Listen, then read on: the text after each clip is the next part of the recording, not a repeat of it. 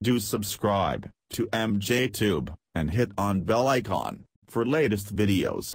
Hey guys, welcome back again. I'm MJ. In this video, we will learn how to fix Chrome browser auto open when you turn on your PC. So I'll show you three steps.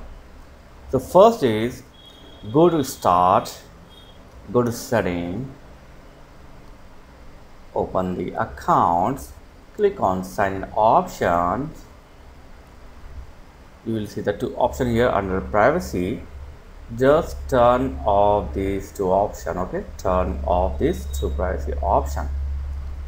Okay this is the first method.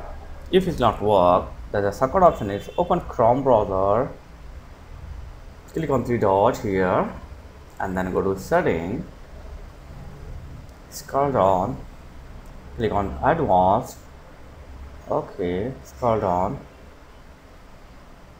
under the system there is an option continue running background apps when Google Chrome is closed. You need to turn off this option.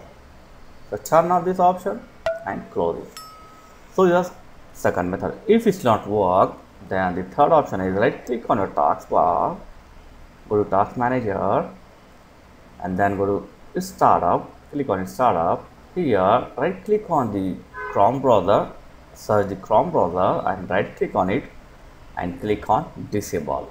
So you need to click on disable to chrome browser and basically these are three methods. So hopefully one of them will work. You thanks for watching. Catch you next video. Please like share and subscribe